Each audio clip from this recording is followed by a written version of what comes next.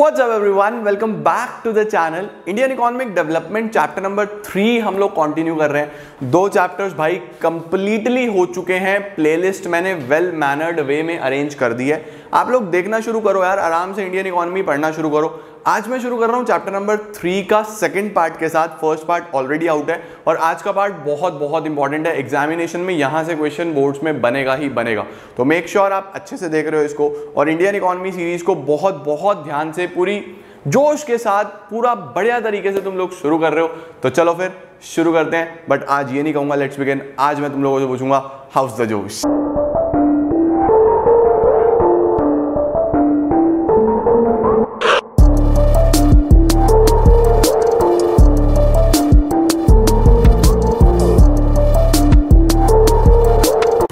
थोड़ा सा आप लोगों का बेस बनाने के साथ साथ इस चैप्टर को शुरू करना चाहूँगा। चैप्टर को शुरू तो हुआ ही हुआ ऑलरेडी एग्रीकल्चर की हम लोग बात कर रहे हैं। बट ओवरऑल इंडियन इकोनॉमी की अगर हम बात करें तो देखो हमारे पास चैप्टर्स किस फ्लो में चल रहे हैं। सबसे पहले हम लोगों ने बात करी कि at the time of independence India की क्या कंडीशन थी। ये बात ध्यान रखना जो मैं चीज़ें बता रहा हूँ, बहुत इंपॉर्टेंट है। सबसे पहला जो चैप्टर हमारा स्टार्ट हुआ, वो India at the time of independence या फिर हम लोग ये बोल सकते हैं कि इंडिपेंडेंस से भी पहले के पीरियड की बात करी हम लोगों ने। इंडिपेंडेंस से भी पहले की पीरियड की बात करी कि कैसे ब्रिटिशर्स ने हम लोगों को एक्सप्लॉइट करा, किस तरीके से हमारे रिसोर्सेज खत्म करे, हम लोग को एज अ फीडर यूज़ करा कि सारा रॉ मटेरियल यहाँ से ले गए फिनिश गुड्स वहाँ से लेके आए, बना बनाया। हमारे एक्सपोर्ट्स के ऊपर हैवी टैक्सेस लगा दिए, उनके इम्पोर्ट्स फ्री कर दिए। तो किस तरीके से उन्होंने एक्सप्लॉइट करा, हमने ये समझा। उसके बाद हम आगे बढ़े, फिर हम अब जो चीज़ें देख रहे हैं, वो ये देख रहे हैं कि हमारे इंडिया में इंडिपेंडेंस के टाइम पे 1950 से 1990 के बीच में जो हमारा मेन फाइव ईयर प्लान्स का ये 40 इयर्स का पीरियड है 1950 से 1990 के बीच में क्या सिनेरियो रहा? किस तरीके से क्या क्या बदलाव आए इंडियन इकोनॉमी में? किस तरीके से हम लोगों ने बहुत सारी प्रॉब्लम्स को टैकल करा? कैसे करा? ये हम सीख रहे हैं। अब यहाँ पे आपको एक चीज़ ध्यान रखनी है कि आपको तीन सेक्टर्स के बारे में मेनली पढ़ना है।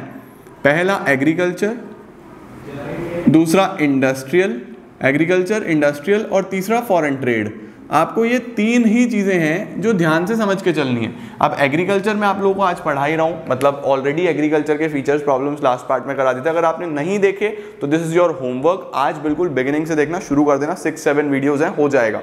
उसके बाद इंडस्ट्रियल सेक्टर की अगर मैं बात करूँ तो इंडस्ट्रियल सेक्टर में हम लोग इंडस्ट्रीज़ के बारे में आगे पढ़ेंगे उसके बाद फॉरेन ट्रेड के बारे में पढ़ेंगे उसके बाद जब हमारा आगे काम चलेगा, फिर वो शुरू होगा 1991 से, जो हमारा न्यू इकोनॉमिक पॉलिसी आ जाएगा, जिसमें एलपीजी हम लोग पढ़ेंगे।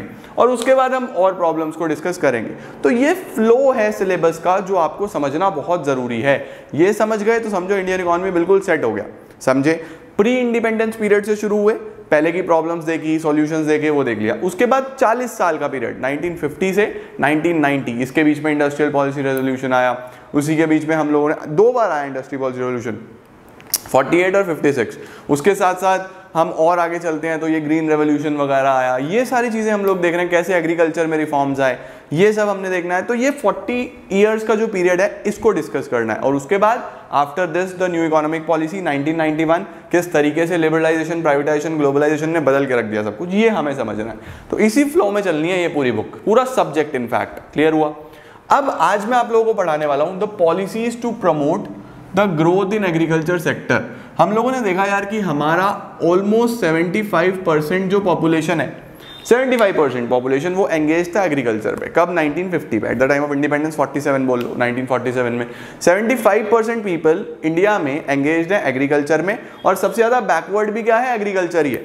ये चीज़ भी देखो कि मतलब जो लोग मोस्ट ऑफ़ द पॉपुलेशन जो काम कर रही है, वही काम बैकवर्ड है। तो ग्रोथ कहाँ से होगी भाई? हमारे यहाँ पे ग्रोथ के कुछ फैक्टर्स रखे गए थे, जिन पे काम करना चाहा गवर्नमेंट ने, चाहे वो इक्विटी हो, चाहे वो सेल्फ रिलायंस हो, चाहे वो मॉडर्नाइजेशन हो, इन सब चीज़ों पे काम करना चाहा गवर्नमेंट ने। ये मेन चीज़ें थी जो गवर्नमेंट के माइंड में थी। तो उसको ध्यान में रखते हुए अब एग्रीकल्चर को सही करने के लिए कुछ रिफॉर्म्स लाए गए। तो एग्रीकल्चर में आपको ध्यान रखना है मेजर जो रिफॉर्म्स हैं वो दो पार्ट्स में डिवाइडेड है लैंड रिफॉर्म्स जिसमें कुछ टेक्निक्स को यूज़ करते हुए, जो ज़मीन पे नाजायज़ कब्जे थे, या फिर इनक्वालिटी थी, किसी के पास ज़्यादा लैंड किसी के पास कम लैंड या फिर जो टीनेंट्स को, या फिर आप बोल सकते हो कि कल्टीवेटर्स को एक्सप्लॉइट करा जा रहा था, उनको ख़त्म करने के लिए ये लैंड रिफॉर्म्स आए।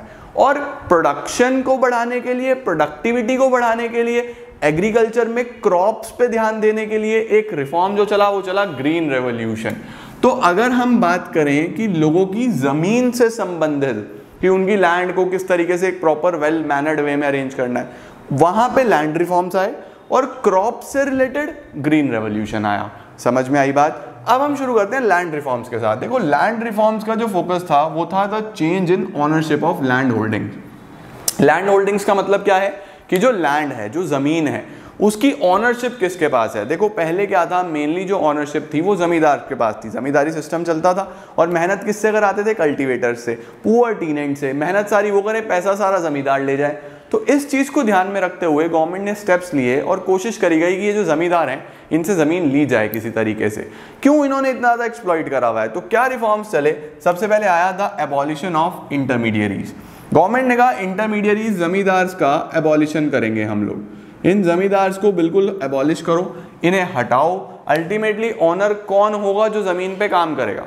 जो काम करेगा, वो ऑनर रहेगा। बाकी जो काम नहीं करेगा, वो ऑनर नहीं रह सकता।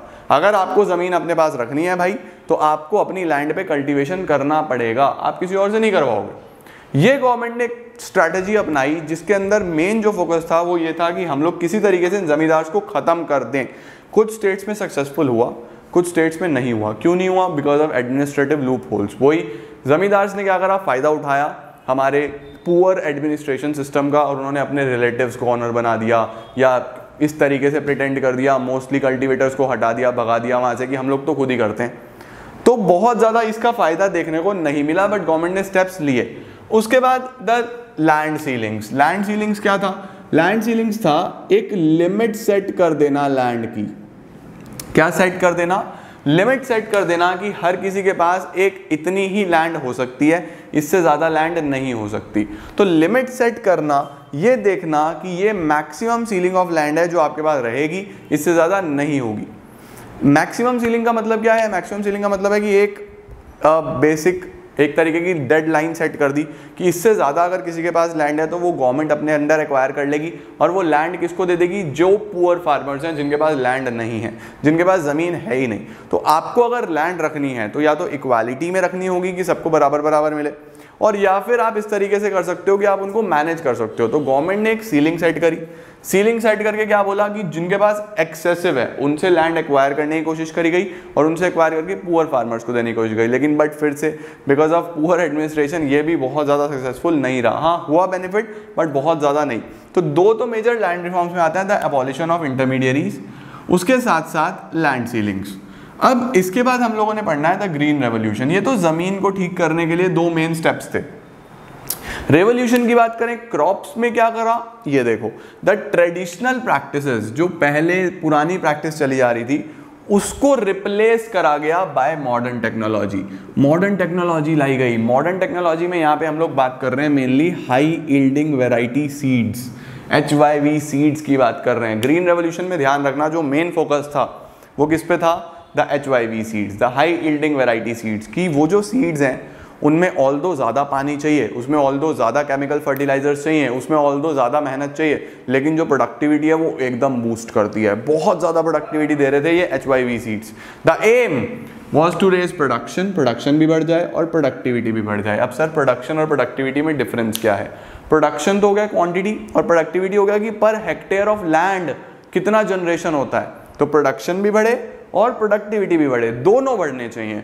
ग्रीन रेवोल्यूशन रेफर्स टू ये ग्रीन रेवोल्यूशन लिखा है मैंने जी आर कहीं तुम सोचो, पता नहीं क्या है। Green revolution refers to the large increase in production of food grains ध्यान रखना मेजर फोकस फ़ूड ग्रेन्स पे था। Wheat rice pulses food grains due to use of H Y V seeds जिसका फोकस किस पे था? On the H Y V seeds H Y V seeds use करा। Traditional practice को हटाया modern technique को लेके आए और हमें बहुत ज़्यादा इससे हेल्प मिली। इससे हमें काफ़ी चेंजेस देखने को मिले हमारे एग्रीकल्चर सिस्टम में। बट क्या ये एकदम हो गया? नहीं। ग्रीन रेवोल्यूशन दो फेजेस में देखने को मिला। रेवोल्यूशन के फेजेस कौन कौन से हैं? सबसे पहले मिड सिक्सटीज सेवेंटीज जिसमें मेनली ये पंजाब रीजन में देखने को मिला हम लोगों को। मेनली पंजाब में देखने को मिला।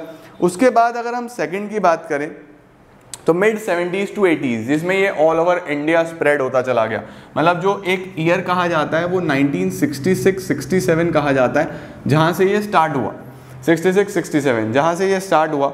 और स्टार्ट होने के बाद स्टार्ट होने के बाद बस फिर तो ये स्प्रेड होता चला गया। पंजाब, आंध्र प्रदेश और उसके बाद ऑल ओवर इंडिया ये ग्रीन रेवोल्यूशन की बेसिक स्टेजेस थी फेसेस थी जिससे ग्रीन रेवोल्यूशन हुआ है।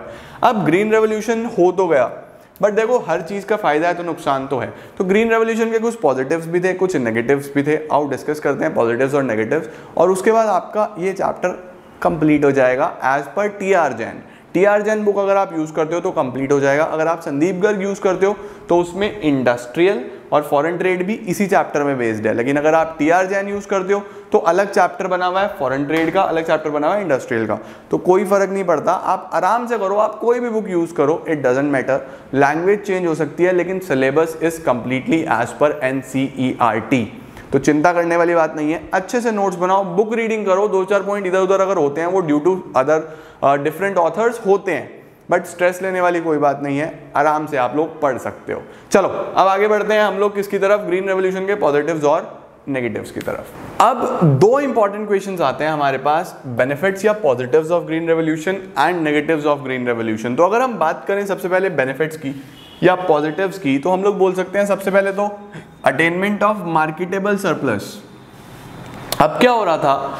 हम लोग ड्यू टू ग्रीन रेवोल्यूशन बहुत अच्छा प्रोडक्शन कर पा रहे थे तो हमारे पास मार्केटेबल सरप्लस हो रहा था। सरप्लस का मतलब क्या होता है? जब आप अपनी सब्सिस्टेंस के बाद भी कुछ बहुत सारी प्रोडक्टिविटी या बहुत सारा एक तरीके का स्टॉक ऑफ़ किसी भी चीज़ का स्टॉक हो सकता है। यहाँ पे तो किसकी बात हो रही थी? Stock of wheat stock of basically food crops तो इनकी बात हो रही थी। तो यहाँ पे हम लोग उनका सरप्लस देखने को मिल रहा था। यानी अपना कंजम्पशन के बाद भी कंजम्पशन के बाद भी हम लोग बहुत सारी सेविंग कर पा रहे थे। बेसिकली uh, और उससे क्या फ़ायदा हो रहा था? मार्केटेबल सरप्लस देखने को मिल रहा था कि आप मार्केट में सेल आउट कर सकते हो क्वांटिटी को बढ़िया तरीके से बेच सकते हो। उसके बाद buffer stock of food grains buffer stock का मतलब कि आप फ़ूड ग्रेन्स को स्टोर भी कर पा रहे थे। मैंने बताया ना सेविंग्स कर रहे हो तो स्टोर कर पा रहे हो। अगर कभी भी मार्केट में शॉर्टेज होगी तो उस शॉर्टेज को आप बहुत ईजिली दूर कर सकते हो। तो आपको बफर स्टॉक देखने को मिला था फ़ूड ग्रेन्स का अल्टीमेटली ग्रीन रेवोल्यूशन की वजह से, क्योंकि एच वाई वी सीड्स आई प्रोडक्शन प्रोडक्टिविटी एकदम बड़ा तो सरप्लस देखने को मिला बफर स्टॉक देखने को मिला। Benefits to low level income groups low level income groups को क्या फ़ायदा हुआ? देखो एज अ कंज्यूमर अगर मैं बात करूँ तो मार्केट में जब किसी भी चीज़ की सप्लाई बढ़ जाती है, पहले चीज़ों की शॉर्टेज थी तो चीज़ें काफ़ी एक्सपेंसिव थी, महँगी थी। लेकिन अब जब प्रोड्यूस का एकदम सप्लाई बढ़ गया तो काफ़ी प्राइस गिरने लगे क्योंकि अल्टीमेटली डिमांड कम होने लगी सप्लाई बढ़ गया प्राइस गिरने लगे। तो पहले बहुत सारे लोगों को जो अफोर्डेबिलिटी नहीं थी, जो अफोर्ड नहीं कर पा रहे थे, अब वो आराम से अफोर्ड कर सकते थे। तो काफ़ी बेनिफिट हो रहा था लो इनकम लेवल ग्रुप्स को। लास्ट में the change in farmers outlook अब फार्मर्स का जो आउटलुक है, नज़रिया है, जो सोच है मेंटालिटी है माइंडसेट है, वो चेंज हो चुका था। पहले क्या था उनका माइंडसेट सबसिस्टेंस अब क्या हो चुका है सबसिस्टेंस से हटा के? सबसिस्टेंस से अब हो गया कमर्शियल कमर्शियल का मतलब क्या होता है? कि वो अब बिज़नेस के तरीके से सोच रहे थे। पहले वो क्या सोचते थे? बस इतना ग्रो कर लें कि हम खा लें। हमारा खाना चल जाए दो टाइम का, अब नहीं। अब एच वाई वी सीड्स की वजह से जो आउटलुक है, वो क्या था? कमर्शियल के सामान बेचें। बढ़िया तरीके से पैसा कमाए। तो ये सबसे ज़्यादा बेनिफिट्स थे ग्रीन रेवोल्यूशन के बट फ़ायदा है तो नुकसान भी होगा। क्या नेगेटिव्स है? Number one limited crops green revolution सिर्फ़ लिमिटेड क्रॉप्स तक गया था, इसने इक्वली हर क्रॉप पे इम्पैक्ट नहीं डाला। इसने जूट नहीं बढ़ा के दिया, इसने कॉटन नहीं बढ़ा के दिया, इसने पल्सेस नहीं बढ़ा के दी। इसका जो मेजर फोकस था, वो किसके ऊपर था हमारे पास? वीट के ऊपर राइस के ऊपर, इन चीज़ों के ऊपर। मेनली इसका फोकस यही था। जो दूसरे क्रॉप्स हैं, उनके ऊपर ध्यान ही नहीं दिया गया। तो ग्रीन रेवोल्यूशन सिर्फ़ लिमिटेड क्रॉप्स तक रिस्ट्रिक्टेड रह गया ड्यू टू विच कुछ फार्मर्स अमीर हो गए, कुछ फार्मर्स गरीब ही रह गए। वही हमने आगे पढ़ाया था अनइवन स्प्रेड अनइवन स्प्रेड का मतलब क्या है कि ये कंट्री के हर एरिया तक नहीं पहुँचा। कुछ एरियाज़ में गया, जैसे पंजाब, आंध्र प्रदेश, कुछ एरियाज़ में बहुत बढ़िया रहा। कुछ एरियाज़ में ये नहीं पहुँच पाया ड्यू टू विच फिर से जो मकसद था इक्वालिटी वो इक्वालिटी हम जनरेट नहीं कर पा रहे थे। तो इन इक्वालिटी हमें देखने को मिल रही थी। Number three benefited limited farming population इसने बस एक लिमिटेड फ़ार्मिंग पॉपुलेशन को ही बेनिफिट करा। क्यों? क्योंकि एचवाईवी सीड्स अगर आप यूज़ कर रहे हो तो H Y V seeds high yielding variety seeds आपसे प्रॉपर इरीगेशन फैसिलिटीज़ मांगते हैं। आपसे एक्सपेंसिव फर्टिलाइजर्स मांगते हैं। इनमें इनकी यूजेज बहुत ज़्यादा है। फर्टिलाइजर्स की इंसेक्टिसाइड्स की पेस्टिसाइड्स की। पानी आपको प्रॉपर चाहिए। तब आप काम कर सकते हो। दूसरी बात एच वाई वी सीड्स बहुत एक्सपेंसिव हैं। तो due to which poor farmers इनको अफोर्ड ही नहीं कर सकते थे। अगर पुअर फार्मर्स अफोर्ड नहीं कर सकते थे तो जो अमीर था भाई, उसी को फ़ायदा हुआ, उसी का प्रोडक्शन बढ़ा, वो और अमीर होता चला गया।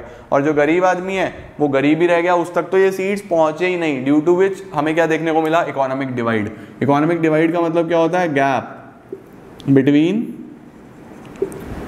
poor and rich poor और रिच फार्मर्स के बीच में एक बहुत बड़ा गैप होता चला गया ड्यू टू विच फ़ार्मिंग फिर से जैसा बैकवर्ड था बैकवर्ड ही रह गया और आज भी हम लोग देखते हैं कि फ़ार्मिंग में बहुत ज़्यादा बैकवर्डनेस है ऑल हम लोग बहुत अच्छा कर रहे हैं। अब हमारे पास नई नई टेक्निक्स आ रही हैं टेक्नोलॉजी आ रही है but still isn't it too late आज हमारी कंट्री को इतने साल हो चुके हैं आज़ाद हुए हुए। अभी भी हम लोग फ़ार्मिंग में कितना पीछे हैं, जबकि हमें पूरे वर्ल्ड में इंडिया को एक एज अ फ़ार्मिंग कंट्री देखा जाता है। तो हम लोग कुछ ज़्यादा लेट नहीं है। इस चीज़ पे भी गवर्नमेंट ने सोचा और उसके बाद अभी बहुत सारी चीज़ें हैं जो आप लोग सोचोगे, सुनोगे, पढ़ोगे बट यहाँ पे ये मेजर प्रॉब्लम्स हैं जो ग्रीन रेवोल्यूशन में देखने को मिली। क्रॉप्स लिमिटेड अनइवन स्प्रेड रहा लिमिटेड फ़ार्मिंग पॉपुलेशन को फ़ायदा करा और इकोनॉमिक डिवाइड गल्फ गैप बढ़ता चला गया गल्फ बढ़ता चला गया बिटवीन पुअर एंड रिच इसी के साथ हमारा एग्रीकल्चर वाला टॉपिक समाप्त होता है। आज क्योंकि जस्ट इंट्रोडक्शन है तो चैप्टर को कंप्लीट भी कर लिया और बहुत बड़ा भी वीडियो नहीं रखना। नेक्स्ट क्लास में हम लोग डिस्कस करेंगे एग्रीकल्चर के बारे में और फॉरेन ट्रेड के बारे में। और हमारा काफ़ी सारा पोर्शन कंप्लीट हो जाएगा। फिर हम आगे बढ़ सकते हैं 1991 न्यू इकोनॉमिक रिफॉर्म्स की तरफ़ द न्यू इकोनॉमिक पॉलिसी की तरफ़। तो this is it for today आज के लिए बस इतना ही रखते हैं और नेक्स्ट क्लास में मिलता हूँ मैं आपको कुछ और नए टॉपिक्स के साथ। Thank you so much